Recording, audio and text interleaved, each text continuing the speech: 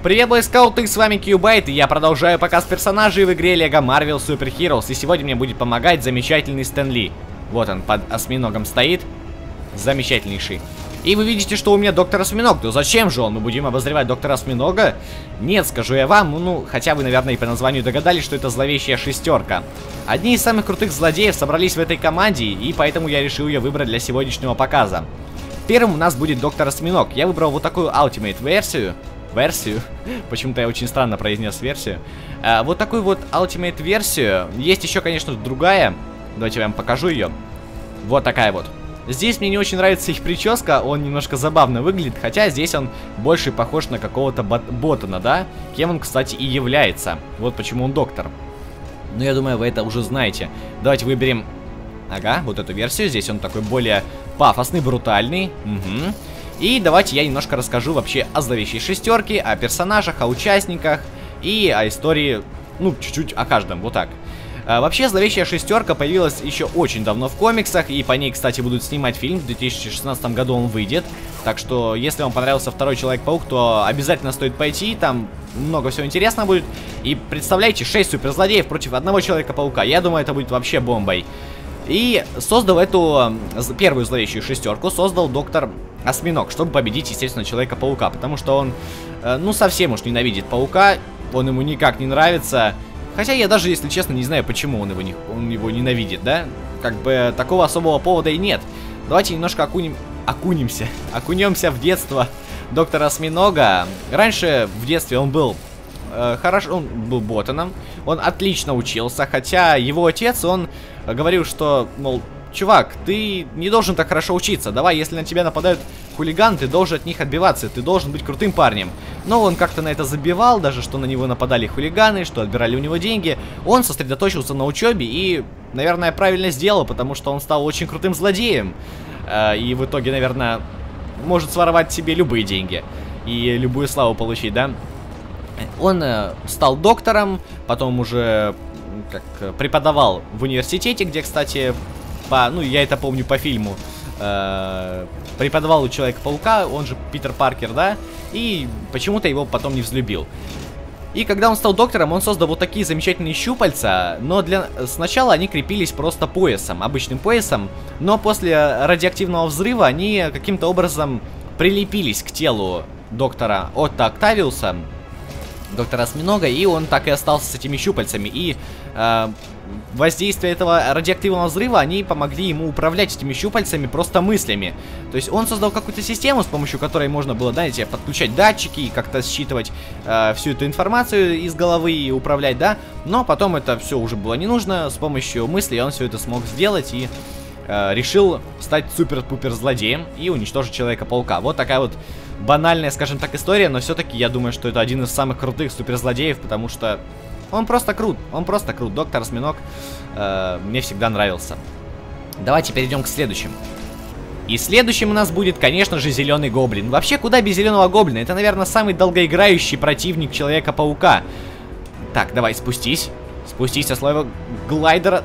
Ну, как это сделать? О, черт, бомбочки полетели. Эй, не разгроми здесь ничего. Окей, мы спустились. Вот так он выглядит в этой игре. Просто, наверное, 10 из 10. Очень круто. Очень-очень круто он прорисован в этой игрушке. Смотрите. И даже у него здесь есть такая сумочка фиолетовая с бомбочками. Ну-ка, давай. Так, он может кидать бомбы. Превращаться он ни в кого не может. И давайте я немножко расскажу о его истории, хотя, наверное, все знают, кто такой Зеленый Гоблин. Первым Зеленым Гоблином стал Норман Осборн. Он же отец Гарри Осборна, который был другом Питера Паркера в школе. И стал он э, Зеленым Гоблином очень просто. Он, он вколол себе сам вколол себе сыворотку ОС, кажется, так она называлась, и э, он стал суперсильным, но, правда, были какие-то побочные эффекты, которые... Сначала просто он стал немножко уродливым, да, э, хотя он получил просто огромнейшую силу, он там мог э, чуть ли не 50 тонн поднимать, ну вы сами представьте, 50 черт тонн. Это очень круто. И он стал, наверное, сильнее Человека-паука, потому что я не думаю, что Человек-паук может поднять 50 тонн. Он и ловкость, и выносливость получил, но были побочные эффекты. Потом этот, эта сыворотка просто его разум смутила, и все, он стал сумасшедшим. Наглухо отбитым, вот. И, да, начал выдумывать всякие крутые штуки, типа вот этих тыквенных бомбочек. А, и стал злодеем, э, стал противником Человека-паука. Опять же, я не особо помню почему. Почему он стал... Наверное, просто ему захотелось кровь Человека-паука. Что же еще нужно от Человека-паука? Ничего. Или просто, знаете, развлечься. Это, знаете, как старым бабушкам. Хочется до кого-нибудь докопаться, когда они сидят и им скучно на лавочках. Они до кого-нибудь докапываются. И также, наверное, с, со многими суперзлодеями. Вот. А, он стал, наверное, вторым, я думаю, участником Хотя нет, подождите, по-моему, его в первой зловещей шестерке не было, но в фильме, который выйдет в 2016 году, я уверен, что он появится. И вообще, сегодня я буду показывать персонажей, которые, наверное, на 100% появятся в фильме 2016 года. Я уже так посмотрел, да какие-то факты, какие-то картиночки, как-то сам все это дело сопоставил и получил, наверное, уже зловещую шестерку 2016 года, вот. Давайте перейдем к следующему персонажу. Он у нас будет Крейвен Охотник. Сергей Кровинов вас приветствует. А, вот такой вот замечательный здесь Крейвен Охотник. Вообще, я его увидел только когда начал искать эту зловещую шестерку в игре. Как-то я, не знаю, не пробовал даже его найти. Хотя он просто великолепен здесь. Хотя в uh, The Amazing Spider-Man 2 он мне понравился намного больше. Там он вообще просто бруталити, бруталити. Так, ну здесь у него есть его копье. А, кстати, как я узнал, что он будет э, в зловещей шестерке 2016 года? Уже немножко запинаюсь. Я смотрел фотки, и там была еще фотография другого персонажа, которую я покажу позже. И фотография копья. Э, там был наконечник копья, и я подумал, какой же суперзлодей в Марвеле ходит с копьем. Я так подумал, подумал и вспомнил, что есть же охотник, замечательный охотник Сергей Кровинов. Он же э, э, Крейвен Охотник, да. Давайте немножко о нем расскажу. Значит, это наш, можно сказать, земляк. Он родился в СССР.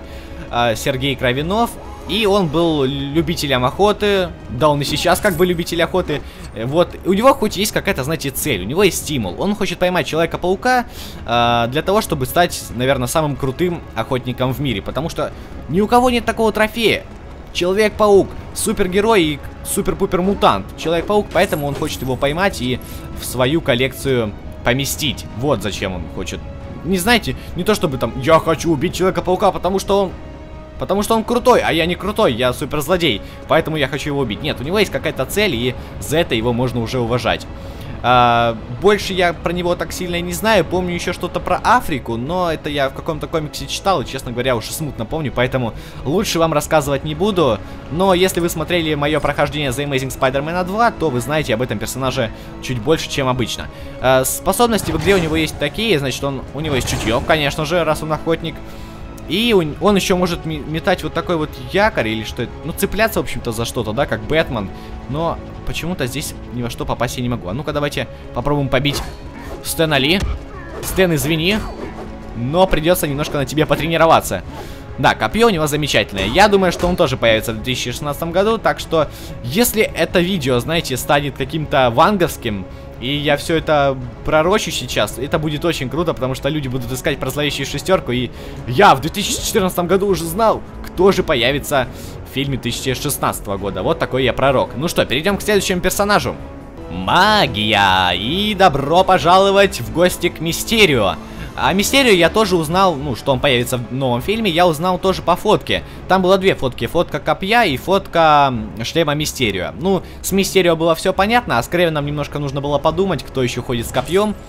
А, давайте немножко расскажу о Мистерио вообще, кто он такой, потому что, если честно, я о нем не знал. А, раньше, только недавно узнал вообще, как он появился и кто он такой на самом деле. Я думал, что это какой-то маг, но на самом деле он раньше работал голливудским каким-то режиссером, продюсером, да, и очень хорошо разбирался во всех этих иллюзиях, спецэффектах, да, э, вообще, ну, Майкл Бэй, да, чертов Майкл Бэй. Вот, но потом он решил, его, по-моему, кажется, или выгнали, или что-то, в общем, плохое случилось. Сейчас не буду врать, э, не буду говорить, что точно так и было, но что-то подобное случилось. В общем, э, закрыли ему карьеру в Голливуде, и он решил как-то подзаработать на своих спецэффектах. Он решил, что если он будет суперзлодеем, то он будет и э, более знаменит, и больше денег может получать, да, просто своровал в банке и ушел. И он хорошо знал спецэффекты, поэтому решил, что это у него легко получится. И после этого он вступил, кажется, в зловещую шестерку сразу же э, к доктору Осьминогу. И они уже погнали драться с Человеком-пауком. Вот такой вот загадочный персонаж. Он мне очень нравился всегда, его стиль нравился. И вот даже здесь, в этой игре, у него очень такой классный дымок. Да, вот смотрите, фиолетовый просто замечательно сделали. По-моему, ни одного персонажа в этой игре нет вот такого вот э, эффекта. Круто, очень круто выглядит. Если бы, знаете, еще шлем подсвечивался как-нибудь, какие-нибудь узоры были на шлеме, было бы еще круче. В сто раз. Ну что, перейдем к следующему персонажу, потому что об этих персонажах я очень мало знаю. Они не очень-то и популярны, хотя мне они безумно нравятся. Носорог крушить! И следующий у нас носорог, он же Рина. И я думаю, что все вы его знаете. Даже если вы не знакомы с комиксами, то наверняка вы ходили на фильм Новый Человек-паук 2 и где он был, кстати. Но у него там был немножко другой костюм. И расскажу немножко об этом персонаже. Опять же, это наш земляк. Ребят, сколько земляков? Его звали Алексей. Э, сейчас, правда, подзабыл его фамилию. Как-то, как-то на С, кажется. Подзабыл его фамилию. Извините, пожалуйста, подзабыл фамилию, но это наш земляк Алексей его зовут. И заметьте, сколько в Марвеле очень много русских персонажей. Это круто. Это круто. Когда ты читаешь и персонажа твоего, например, любимого суперзлодея зовут русским именем, то ты так... Эх, есть чем гордиться. Ну, согласитесь, приятно, очень приятно. А, в общем, Алексей это, знаете, что-то вроде Халка, но в костюме. Потому что первым... Первым Носорогом стал Алексей, а потом были еще, по-моему, другие люди, но я расскажу именно о нем. А, его сначала правительство использ... хотело использовать, чтобы поймать, э, по-моему, Человека-паука, да? Э, по-моему, по-моему, так и было. Почему-то я все время путаюсь, почему-то я все время путаюсь. Они его гамма-лучами, да, облучили, если так можно сказать, немного тавтология, но я думаю, вы поняли смысл. Облучили, он стал намного сильнее, э, что-то наподобие Халка, конечно, меньше, меньше, чем Халк, но что-то наподобие, и придумали для него костюм. Э, вот что-то наподобие этого костюма, который бы, э, не знаю, был бы удобен. Я не думаю, что голым он бы бегал. Но костюм, по-моему, что-то еще ему прибавлял. То есть э, он не просто так на нем висел. Кстати, меня всегда заботило, я, по-моему, это уже говорил, как у Калка одежда держится на нем. Когда она должна разрываться, она все равно остается на него. Например, те же его фиолетовые шорты, всеми любимые. И даже этот Алексей, он, если он и сильный, но он глупый. Опять же, образ тупого качка, он глупый, очень глупый. Хотя, по-моему, даже как-то пытались ему его интеллект увеличить, это очень плохо закончилось.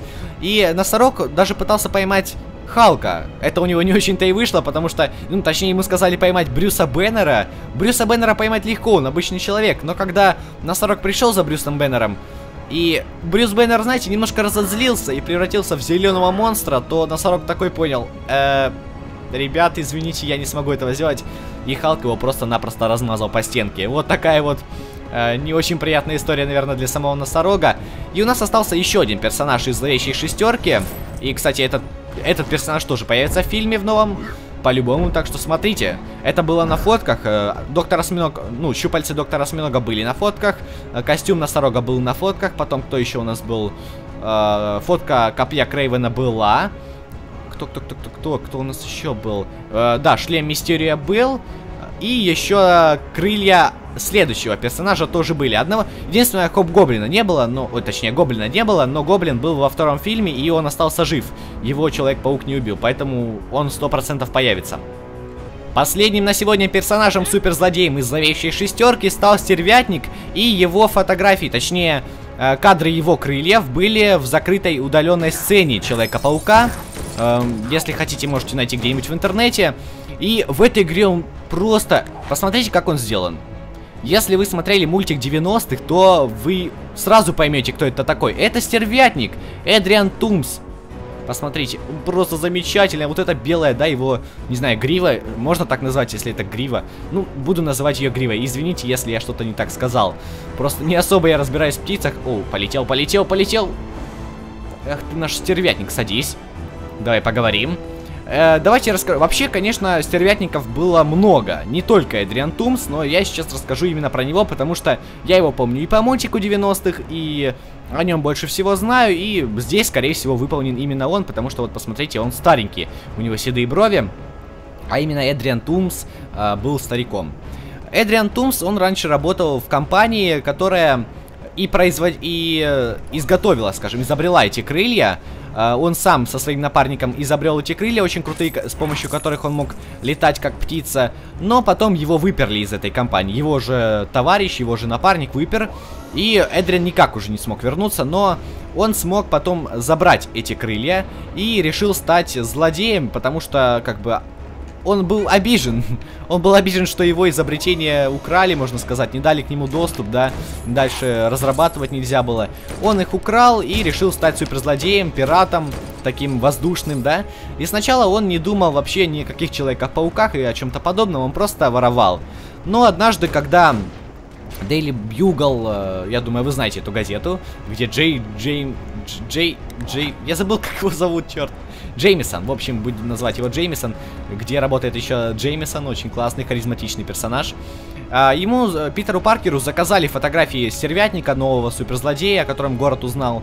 И когда Питер Паркер, естественно, пошел его фоткать, то решил помешать преступлениям, которые совершал Стервятник. Так они, в принципе, и познакомились. А, Стервятник тоже, кажется, был первой зловещей шестерке, если я не ошибаюсь.